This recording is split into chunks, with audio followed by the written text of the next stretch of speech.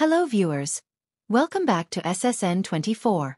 Today, we delve into the recent departure of ESPN's Sam Ponder, who has been a prominent host on Sunday NFL Countdown since 2017. According to The Athletic, ESPN has decided to part ways with Ponder, citing budgetary constraints as the primary reason. However, Riley Gaines, former Kentucky swimmer and host of Gaines for Girls, has suggested another motive. On social media, Gaines raised the possibility that Ponder's outspoken views on protecting women's sports, particularly her stance against transgender women competing in women's events, might have influenced ESPN's decision.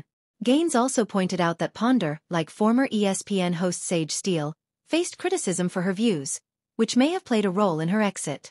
Sage Steele, who left ESPN last year after a legal dispute, has shown support for Ponder, calling her a gem and expressing confidence in her future. In related news, ESPN also dismissed former NFL quarterback Robert Griffin III, who had joined the network in 2022. The departure of Sam Ponder has sparked considerable debate about the intersection of sports, gender, and corporate decisions. What do you think about ESPN's move?